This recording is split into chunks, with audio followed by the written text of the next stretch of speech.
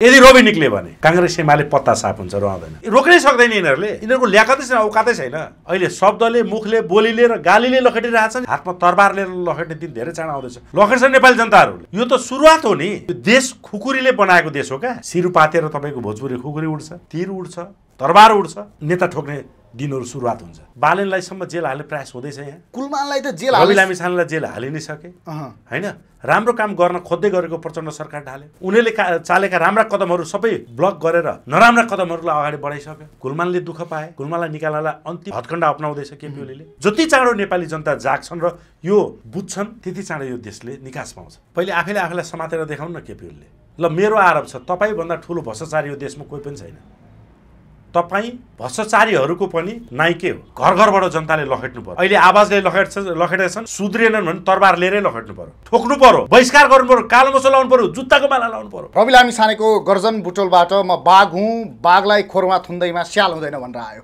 यसमा के छ तपाईँको टिप्पणी? सबैले आफूलाई बाघ नै सम्झिन्छन् उहाँले पनि त्यही सम्झिनु भयो त्यही नै हो। यो पार्टी र रवि लामिछाने सेटलमेन्टमा गएनन् होइन? रवि के अरे ओली र देउबाको खुट्टा समाएनन् भने रवि जेल नै बस्छन्। यिनलाई निक्लिनु दिँदैन एनी हाउ उसलाई सेटलमेन्टमा ल्याउने। होइन। होइन भने। उसलाई सडाउने रणनीतिमा गएको देखिन्छ काङ्ग्रेस एमाले पाँच पाँचचोटि प्रधानमन्त्री भएको मान्छे। जनताले लखेट्दैछन् बोलेर उत्तर दिन सकेको छैन।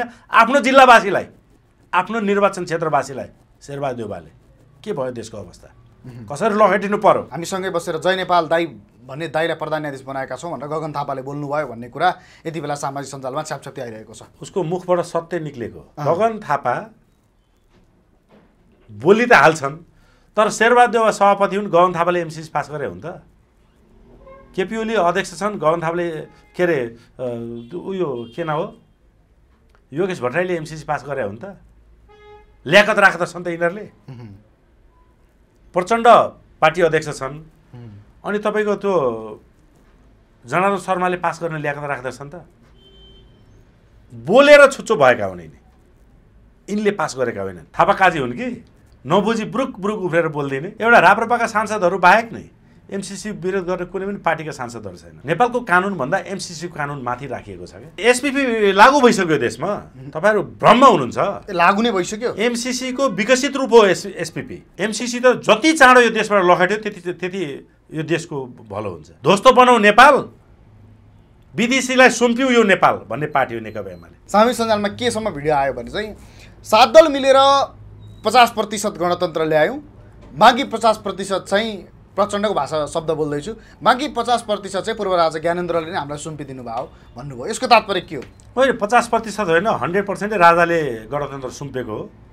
त्यतिखेर सेना। प्रहरी प्रशासन सबै उनको हातमा थियो लड्न सक्थे दुई चार हजार लाख मान्छे मार्न सक्थे। सेनारी अर्कै हुन सक्थ्यो। पत्रकार सम्मेलन र जनताको नासो जनतालाई भनेर सरलकै गति त्यागेका हुन्। मङ्सिरको आन्दोलनमा नेपाली जनताले साथ दिनुपर्छ। सात गते दुर्गाजीले गरिराख्नु भएको छ। भारतले भ्यालु नदिनु र यिनी भारत भ्रमणमा नजानु म चाहिँ नेपाललाई नै फाइदा छ क्या नेपालको पक्षमा चाहिँ चिन कहिले पनि उभिँदैन। चिन जहिले पनि चिनको पक्षमा उभिन्छ। हरेक देशले त्यही गर्नुपर्छ। नेपालले पनि नेपालको पक्षमा उभिनुपर्छ। जुन विडम्बना हो नेपालका नेताहरू कहिले पनि आफ्नो देशको पक्षमा उभिएनन्। अनि प्रचण्ड सरकार ढले केपी सरकार आयो। के पायो देशले? जनताले के पाए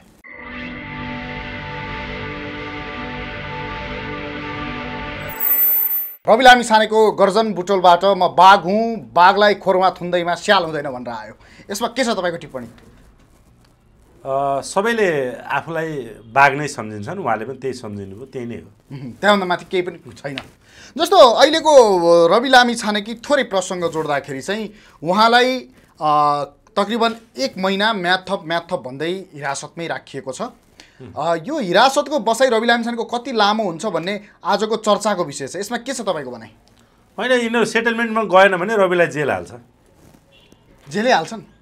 तर यो जुन सङ्गठित अपराधको मुद्दा लाग्ने कुरा छ योमा चाहिँ तिन महिनाभन्दा जेल हाल्न नमिल्ने रहेछ। एउटा मात्रै मुद्दा छैन उनीमाथि। धेरै मुद्दाहरू छन्। अब तपाईँहरूकै आरोपमा सिङ्गो सरकार नै रविलाई फसाउन लागेको छ भने उसलाई फसाउने आधारहरू धेरै छन्। त्यसकारण यिनी यो पार्टी र रवि लामिछाने सेटलमेन्टमा गएनन् होइन? रवि के अरे ओली र देउबाको खुट्टा समाएनन् भने रवि जेल नै बस्छन् यिनलाई निक्लिनु दिँदैन। यदि रवि निक्ल्यो भने काङ्ग्रेस एमाले पत्ता साफ हुन्छ रहँदैन। ए रविले क्लिन चिट पाएर निस्क्यो भने काङ्ग्रेस एमाले सकिन्छ। त्यसकारण यिनीहरूले बुझिसकेका छन् एमाले काङ्ग्रेसले। एनी हाउ उसलाई सेटलमेन्ट पनि ल्याउने होइन। होइन भने। उसलाई सडाउने रणनीतिमा गएको देखिन्छ काङ्ग्रेस एमाले। र अर्कोतर्फ आमूल प्रश्न यति बेला सम्माननीय प्रधानमन्त्री केपी शर्मा ओलीज्यू चीन भ्रमणमा जाँदै हुनुहुन्छ। केही समय अगाडि भारत जाने निकै चर्चा चल्यो तर भारतले उहाँलाई स्वागत गरेन या बोलाएन। त्यो माहौल बनेको थियो तर अहिले चिनले बोलाएको अवस्था छ। यसलाई कसरी हेर्ने? चिनले बोलाएको होइन यिनी आफै जान खोजेका हुन्। अहँ, यिनीहरू देशद्रोही गद्दारहरूलाई अरू देशले बोलाएर स्वागत गर्न चाहँदैन। तर एक देशका प्रधानमन्त्री अर्को देश जाने कुराले परराष्ट्र मन्त्रालय अन्तर्गत हुने कुराहरू हो र ठिकै छ त बोलाइदिउँ भनेर हड्डी चुसेकाहरूलाई। पनि त्यो चाहिँ बाध्यात्मक परिस्थिति हुन्छ कि किनकि नेपालबाट चिन बाँचेको चाहिँ दृष्टान्त छ नि त। तिब्बतका कुराहरू छन् होइन? सिङ्गो चिनलाई एउटा स्वतन्त्र राष्ट्रको समर्थनको कुराहरू छन्। चिनले बोलाएको हो जस्तो मलाई लाग्दैन। यिनीहरू आफै हार गुहार गरेर गएको हो किनकि भारतले यिनलाई भ्यालु दिएन। भारतले भारतले यिनलाई कसरी भ्यालु दियोस् त? आफैले पालेका आफैले खटाएका पात्रहरूलाई कसरी भ्यालु दियोस् त? होइन? अब यो अडान तपाईँ एउटा कुरो के बुझ्नु पऱ्यो भने भारतले भ्यालु नदिनु र यिनी भारत भ्रमणमा नजानु म चाहिँ नेपाललाई नै फाइदा छ क्या फेरि। ए नेपाललाई फाइदा छ? फाइदा छ। कारण के हो त्यो? के- हो? आजसम्म जति पनि बहुदलपछि प्रधानमन्त्रीहरू भारत भ्रमण गएर सन्धि सम्झौताहरू गरेर आए नेपाललाई के फाइदा भयो त? केही पनि फाइदा भएन। चिनको चाहिँ एज इट इज भयो। चाहे नेपाल देशै नरहोस् नेपालको पक्षमा चाहिँ चिन कहिले पनि उभिँदैन। चिन जहिले पनि चिनको पक्षमा उभिन्छ। हरेक देशले त्यही गर्नुपर्छ। नेपालले पनि नेपालको पक्षमा उभिनुपर्छ। जुन विडम्बना हो नेपालका नेताहरू कहिले पनि आफ्नो देशको पक्षमा उभिएनन्। उभिएनन्। अर्को चर्चा चाहिँ तपाईँले अघि भने जस्तो चाहिँ नेपालमा अब प्रधानमन्त्री चिन भ्रमणमा गएर फर्किसके पछाडि चाहिँ यो सत्ता ढल्दैछ भन्ने कुराहरू यति बेला समाचारहरू यति बेला आइरहेका छन्। के लाग्छ? यो सत्ता सरकार अब प्रधानमन्त्रीको चिन भ्रमण पछाडि ढल्छ जस्तो लाग्छ यहाँलाई? होइन भारत चिडिन्छ भारतले चाह्यो भने त ढलि ढलिहाल्छ नि। तर ढलेर देशले र जनताले के पाउँछ भन्ने प्रश्न रह्यो क्या यहाँ। सबभन्दा ठुलो कुरो। अनि प्रचण्ड सरकार ढले केपी सरकार आयो। के पायो देशले? जनताले के पाए दैनिक तपाईँको तिन हजार जुन रोजगारीको लागि एयरपोर्टबाट बाहिरिन्छन् त्यसमा कमी आयो? नेपालमा उद्योग कल कारखाना खोले बेरोजगारले रोजगारी पाए किसानले सहुलियत दरमा दरमा मल पाए त प्रश्न चिन्ह है। पर्यटन व्यवसायमा तपाईँको आ काया पलट भयो त। केही पनि त भएन। शिक्षामा तपाईँको सुधार भयो त। स्वास्थ्यमा सबै फ्री गरायो त। ओभरअल जिडिपी बढ्यो त। यो सबैको बढेन। यो सबैको कारण के हो त्यसो भए? के भयो? कुलमानले दुःख पाए कुलमालाई निकाल्नलाई अन्तिम हत्कण्डा अप्नाउँदैछ केपी ओलीले कुलमा बालेन बालेनलाईसम्म जेल हाल्ने प्रयास हुँदैछ यहाँ। कुलमानलाई त जेल रवि लामिछानेलाई जेल हालि नै सके। होइन? राम्रो काम गर्न खोज्दै गरेको प्रचण्ड सरकार ढाल्यो होइन? उनीहरूले का चालेका राम्रा कदमहरू सबै ब्लक गरेर नराम्रा कदमहरूलाई अगाडि बढाइसक्यो। आलोचना बाहेक के खएको खपेको छैन। भन्न खोजेको के भने सत्ता परिवर्तन र विदेश भ्रमणले ने पाउने नेपालले घाटा मात्रै हो क्षति मात्रै हो। जति चाँडो नेपाली जनता जाग्छन् र यो बुझ्छन् त्यति चाँडो यो देशले निकास पाउँछ। हुने त्यही नै।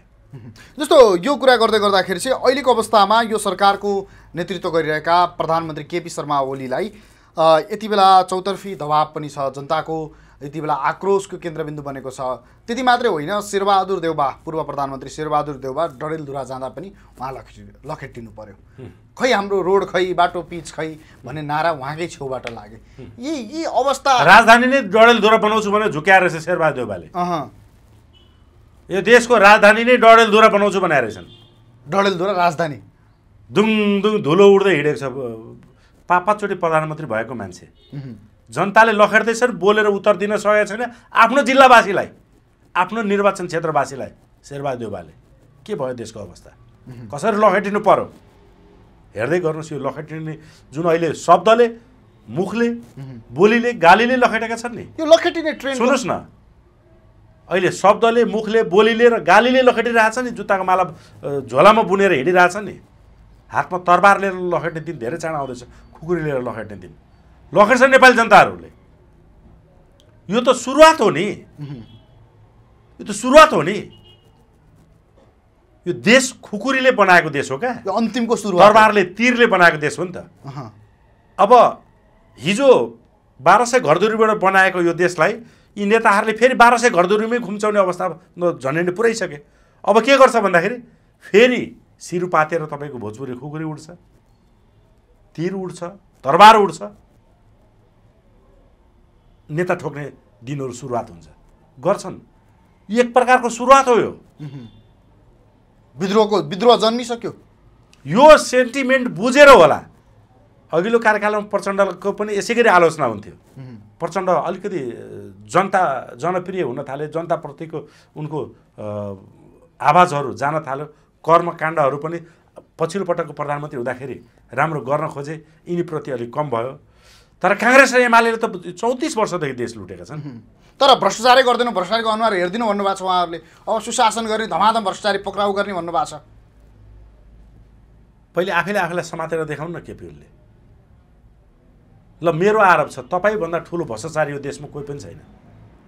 तपाईँ भ्रष्टाचारीहरूको पनि नाइके हो। प्रधान प्रधानमन्त्रीले त्यो आरोप लाउँदै हुन्छ मनोज तपाईँ भ्रष्टाचारीहरूको नाइके हो केपी ओलीजी त्यो आरोप लाउने प्रधानमन्त्रीलाई? तपाईँ आफैले आफूलाई जेल हालेर देखाउनुहोस्। तपाईँको सय खुन माफ ल तपाईँले गरेको आजसम्मको सबै अपराध माफ।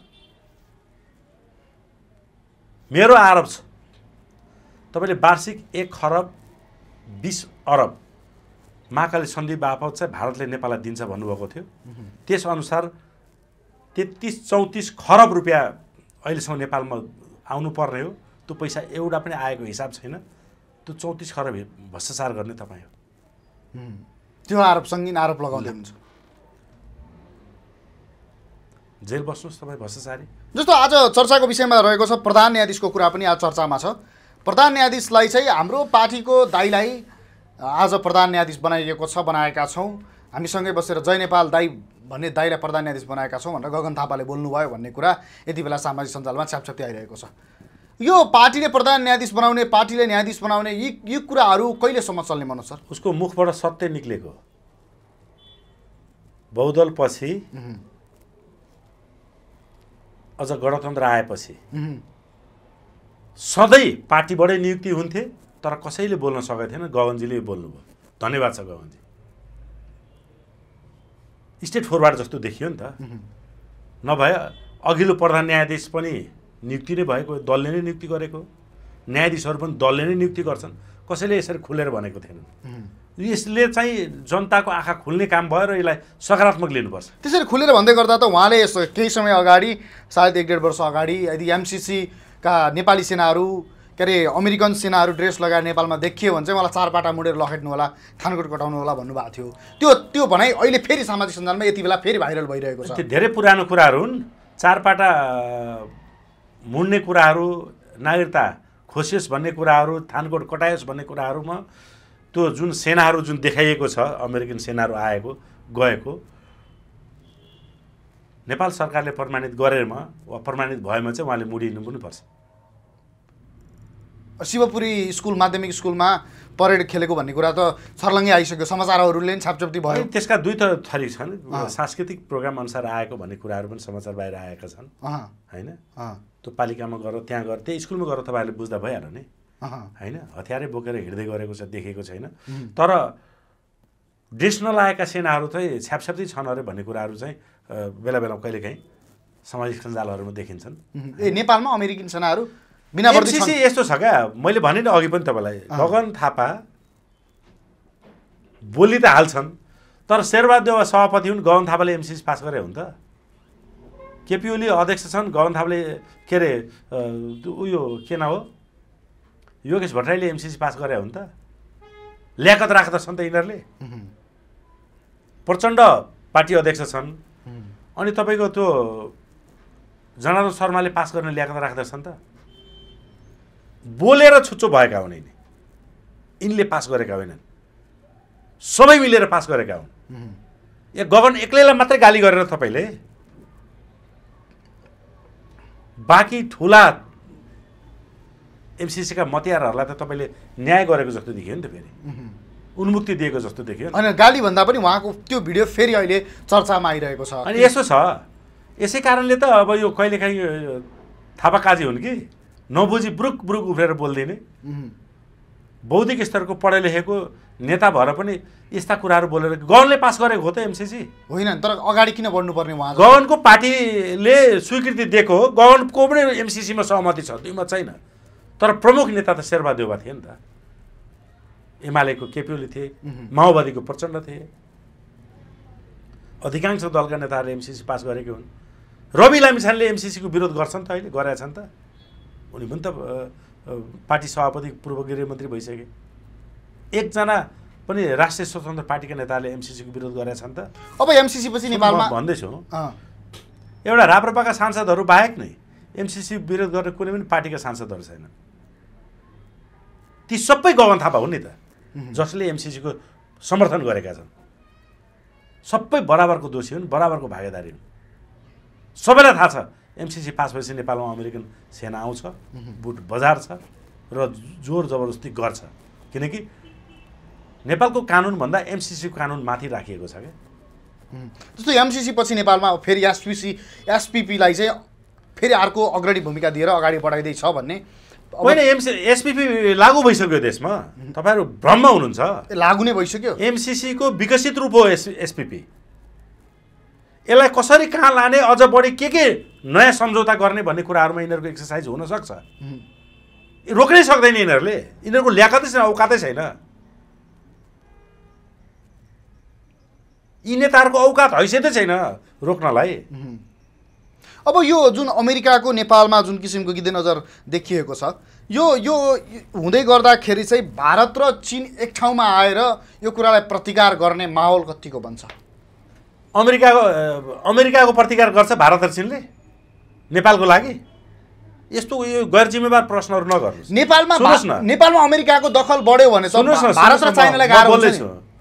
नेपालमा दखल बढेपछि भारत चाइनालाई गाह्रो हुन्छ ठिक छ। तर भारत र चाइनाको धेरै ठुलो व्यापारको हिस्सा अमेरिका हो नि त। नेपाल जस्तो दसवटा देशलाई दिने फाइदा अमेरिकाले एक्लैले दिएको छ नि त चिनलाई।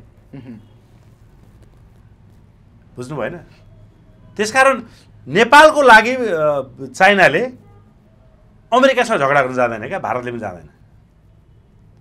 इन्डो पश्चिमा अन्तर्गत भारतले अमेरिकाको आँखाबाट नेपाललाई हेर्छ भन्ने भनिन्थ्यो केही वर्ष अगाडिसम्म। अहिले अलिकति कम भएको छ भनिन्छ। भारतले?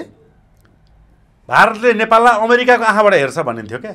अहँ, अहिले पछिल्लो अवस्थामा केही त्यो प्रभाव कम भएको छ भनिन्छ। अमेरिकालाई रोक्न सक्ने नेपालको लागि त्यो ल्याकत छैन यिनीहरूको गर्दैनन्। आफ्नो देश बचाउनलाई चाहिँ हत्कण्डा गर्न सक्छन् यिनीहरूले। होइन प्र प्रमुख प्रश्न नै त्यही हो कि यदि भोलि भारतमा सङ्कट बढ्यो या चाइनामा सङ्कट बढ्यो भने त्यो अवस्थामा नेपालमा चाहिँ यिनीहरूको छिमेकी भने त छिमेकी नै हुन्छ। नेपालबाट चाहिँ उनीहरूमाथि हमला हुने भयो। नेपाललाई सेन्टर पोइन्ट बनाएर म आज एउटा कुरो तपाईँलाई अलिकति मनमा लागेको कुरो खोलिदिन्छु। चाइना र भारतको थिचोमिचोलाई ब्यालेन्समा राख्नलाई पनि अन्य शक्ति राष्ट्रहरूसँग पनि नेपालले हातेमालो चाहिँ गर्नुपर्छ। तर राष्ट्रघाती सम्झि सम्झौता गरेर होइन कि? ब्यालेन्समा राख्नलाई क्या? ब्यालेन्समा राख्नको लागि? त्यो त आवश्यक छ। आवश्यक छ भने एमसिसी पास गराएर होइन। अन्य कुरा राष्ट्रघाती सन्धि सम्झौता गराएर होइन। अमेरिकन सेना नै नेपालमा ल्याएर होइन। तर यी देशहरूको तपाईँको ज्यादातिरलाई ब्यालेन्समा राख्नलाई हामीलाई यो देशलाई स्वतन्त्रता दिनलाई त भारत र चाइना भन्दा पनि पहिले त अमेरिका आएको थियो नि त अगाडि बढेर। भनेको तपाईँले पनि एमसिसी स्वीकार गर्नुहुन्छ। एमसिसी त जति चाँडो यो देशबाट लखेट्यो त्यति त्यति यो देशको भलो हुन्छ। एमसिसी स्वीकारिँदैन एमसिसी विरुद्धको धेरै ठुलो आन्दोलनकारी मान्छे हो मनोज सापकोटा तर आज तपाईँले भन्दै गर्दाखेरि चाहिँ अमेरिकाले भारत र चिनभन्दा पनि अग्रणी भूमिकामा रहेर नेपाललाई स्वतन्त्रताको लागि या आजादीको लागि चाहिँ लड्छ या धेरै यो देश स्वतन्त्र रहेको मान्यता दिनलाई त भूमिका खेल्या हो नि। खेल्या होइन र। यसको मतलब तपाईँ एउटा कुरो के बुझ्नु पऱ्यो भने मेरो कुरालाई ध्यान दिनुहोस् है। अलिकति। नेपालले जिडिपी सुधार गर्दै गयो। उद्योग कल कारखानाहरू खोल्यो यहाँको स्रोत साधनहरू प्रयोग गर्नुभयो जनता धनी भयो देश धनी भयो देश बलियो हुँदै गयो। तपाईँ अब के गर्नुहुन्छ? विश्व बजारमा तपाईँको देशको प्रभाव बढाउन थाल्नुहुन्छ होइन? अमेरिकाले गरेको त्यही होइन। हो। भारतले गर्न खोजेको त्यही होइन। चाइनाले गरिरहेको त्यही होइन। अब तपाईँले अमेरिकाको मानौँ न एउटा पचासवटा अमेरिकाको स्टेट छ नि एउटा स्टेटै नेपाल किन्न सक्ने हैसियतमा भयो। तपाईँले अमेरिकालाई तेरो एउटा स्टेट मलाई बेच भन्ने प्रस्ताव राख्नुभयो। अमेरिकाले बेचे भने दोषी त अमेरिकाको सरकार भयो नि। तपाईँसँग त पैसा चाहिँ किन्ने भयो तपाईँले प्रस्ताव राख्नुभयो। भनेको आजको दिनमा नेपालमाथि जुन अमेरिकाको गिद्धे नजर भनिएको छ यहाँका शासक दोषी हुन् अमेरिका दोषी होइन। यहाँको शासक दोषी हो। यहाँको मन्त्री प्रधानमन्त्री यो व्यवस्था दोषी हो। अँ, यी शासकहरूलाई के गर्नु पर्यो त्यसो भए घर घरबाट जनताले लखेट्नु पर्यो। अहिले आवाजले लखेट्छ लखेटेका छन् सुध्रिएनन् भने तरबार लिएरै लखेट्नु पर्यो। ठोक्नु पर्यो। बहिष्कार गर्नु पर्यो। कालो मसो लाउनु पर्यो। जुत्ताको माला लाउनु पर्यो। हरेक एमसिसीमा हस्ताक्षर गर्ने नेताहरूको। राष्ट्रघातीहरूलाई राष्ट्रघातीहरूलाई ती हरेक सांसदहरू जो बाँचेका छन् नि मन्त्री प्रधानमन्त्री भएका छन् नि। महाकाली बेच्नेको हरेक सांसदले जसले साइन गरेछ तिनको तिनलाई ठाउँको ठाउँ नेपाली जनताले कारवाही गर्न सक्नु पर्यो तर नेपाली जनता त आज मौन छन्। केही गर्न नसकेको अवस्था छ नेपाली जनताले? यो घरमा जहाँ हामी अन्तर्वार्ता दिइरहेछौँ यो घर घर घरपट्टि यसरी धनी भयो कि अब वरपर सबै घर किनेर घर भत्काएर प्लट बनाउन चाहन्छ। सबै घर किन्ने प्रस्ताव उम्, बेच्नु नबेच्नु उसको हातको कुरो हो के? एमसिसीको प्रस्ताव अमेरिकाले राख्यो। पास गर्ने नगर्ने त नेपालको हातमा थियो नि त। यी पास गर्नेहरू गद्दार हुन् यिनीहरू देशद्रोही हुन्। अमेरिकालाई अनायासै हामीले गाली गर्नु हुँदैन भन्न खोजेको मैले। यिनीहरूले म गर्दैन भनेको अमेरिकाको त्यतिकै ता तागत चल्थ्यो एमसिसी पास गराउनलाई। अझ पास मात्रै भएको भए केही फरक पर्दैन। उम्, संसदमा लाने प्रस्ताव नै नेकपा एमाले लग्यो। अनि नेपालको कानुनभन्दा माथि संसदमा लगेको हुनाले भएको त्यस कारणले केपिओले नेकपा एमाले यो देशको सबभन्दा खतरनाक खतरा पार्टी हो खतरनाक पार्टी जति चाँडो यसलाई विस्थापित गरायो नेपाली जनताले त्यति चाँडो यो देशको नेकपा। नेकपा एमाले समृद्ध नेपाल सुखी नेपाली दिन सक्दैन।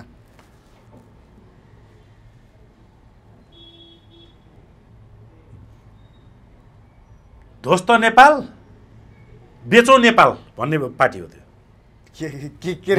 ध्वस्त बनाऊ नेपाल। विदेशीलाई सुम्प्यौँ यो नेपाल भन्ने पार्टी हो नेकपा एमाले ध्वस्त बाहेक के गरेर? नेकपा एमाले केही पनि गर्न सक्दैन त्यसो भए। सक्दैन। त्यो ल्याएको त हैसियतै छैन। त्यो गर्नको लागि आएको खोलिएको पार्टी नै होइन। काङ्ग्रेस पनि त्यही हो। अब अहिले आएर माओवादी पनि त्यही हो। माओवादीले पनि केही गर्न सक्दैन। कसरी सक्छ? त गर्न खोजे जस्तो गऱ्यो सरकारै ढल्यो। अर्को नयाँ पार्टी आयो त्यही अवस्था देखायो. जस्तो अर्कोतर्फ तपाईँले अघि भनेको कुरालाई म थोरै जोड्न चाहेँ। गणतन्त्रको कुरा गर्दाखेरि चाहिँ माओवादीले यानि प्रचण्डले के भन्नुभएको रहेछ एउटा भिडियो अब हामी त सामाजिक सञ्जालकै दुनियाँमा बाँचिरहेको छौँ हेर्नुहोस् होइन।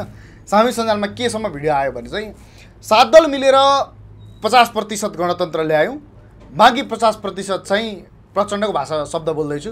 बाँकी पचास प्रतिशत चाहिँ पूर्व राजा ज्ञानेन्द्रले नै हामीलाई सुम्पिदिनु भयो भन्नुभयो। यसको तात्पर्य के हो? होइन पचास प्रतिशत होइन हन्ड्रेड पर्सेन्टै राजाले गणतन्त्र सुम्पेको हो। त्यतिखेर सेना प्रहरी प्रशासन सबै उनको हातमा थियो लड्न सक्थे दुई चार हजार लाख मान्छे मार्न सक्थे। सेनारी अर्कै हुन सक्थ्यो। पत्रकार सम्मेलन र जनताको नासो जनतालाई भनेर सर्लक्कै गति त्यागेका हुन्। त्यस कारणले आन्दोलनमा यिनीहरूले। आन्दोलन गरे जनतालाई झुक्याएर। तर त्यो आन्दोलन जेको लागि भनेको थियो त्यसको परिणाम रिजल्ट परिणाम त्यसरी नआएर चाहिँ देशलाई विदेशीको इसारामा धर्मनिरपेक्षता र राजा फाल्ने काम भयो। यिनीहरूको कुनै पनि सन्धि सम्झौताहरू कुनै पनि दस्तावेजहरू कुनै पनि तपाईँको घोषणापत्रहरूमा कुनै पनि पार्टीको राजा हटाउने र हिन्दू अधिराज्य हटाउने भनेर लेखेको छैन। लिखित रूपमा। त्यसकारण अन्डर टेबल विदेशीको इसारामा नेपालमा यो दुईवटा धेरै ठुलो राष्ट्रिय गद्दारी काम गरे यिनीहरूले। त्यसको दुःख क्षति नेपाली जनताले अहिलेसम्म बेहोरिरहेछन्। मङ्सिर पनि नजिकियो। मङ्सिरमा त ठुला ठुला आन्दोलन हुन्छ। तपाईँहरूले नि एउटा के महासङ्ग्रामको कुरा गर्नुभएको थियो घोषणा गर्नुभएको थियो। के हुँदैछ मनोज सर यो? मङ्सिरको आन्दोलनमा नेपाली जनताले साथ दिनुपर्छ। सात गते दुर्गाजीले गरिराख्नु भएको छ। प्रचार प्रसार तीव्र छ। होइन? दुर्गाजीले पनि आन्दोलनलाई सामूहिक बनाउन सक्नुपर्छ। अब उहाँले आफ्नो नामलाई ब्रान्ड बनाउनुतिर लाँदै हुनुहुन्छ किनकि भर्खरै एउटा कुन चाहिँ एप पनि खोल्नु भएको छ त्यहाँ पनि नाम दुर्गै राख्नु भएको छ। अब अहिले तपाईँले मलाई अन्तर्वार्ता लिँदै गर्दाखेरि दुर्गाको अभियानको नाम तपाईँलाई थाहा नहोला खालि दुर्गै भनिएको छ। होइन? तपाईँको यो दुर्गाजी यो परिवार होइन यो सिङ्गो देश हो तपाईँको एउटा सामान्य त्यो प्रसाई परिवार चलाएको होइन नि। दसजना मान्छेलाई गाली गरेर हकारेको जस्तो यो देशलाई त पाइएन नि त। भनेको त्यसकारण योग्य क्षमतावान टिम बोकेर हिँड्नु भयो भने तपाईँको अभियान बलियो हुन्छ। राष्ट्र राष्ट्रियता नागरिक बचाउ महाअभियानले पुगेन तपाईँको राष्ट्र राष्ट्रियता।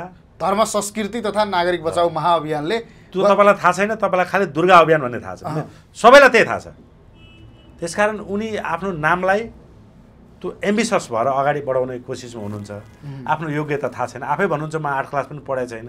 स्कुलमा मास्टरलाई पिटेर आएँ भन्नुहुन्छ। त्यो तपाईँको मेहनत राम्रो छ। तर योग्य क्षमतावान देशभक्तहरू पढे लेखेको विश्लेषकहरू समेट्न सक्नु भएन भने एउटा टाइम पास भइरहेछ तपाईँको त्यही टाइम पास मात्रै हुन्छ यो आन्दोलनले के उपलब्धिमूलक केही पनि हुँदैन त्यसो भए। बल्खु आन्दोलनलाई व्य- व्य- व्यवस्थापन गर्न नसक्नेले अब त्यो कहाँ दोहोरिन्छ त? साथ दिनुपर्छ हामी दिन्छौँ।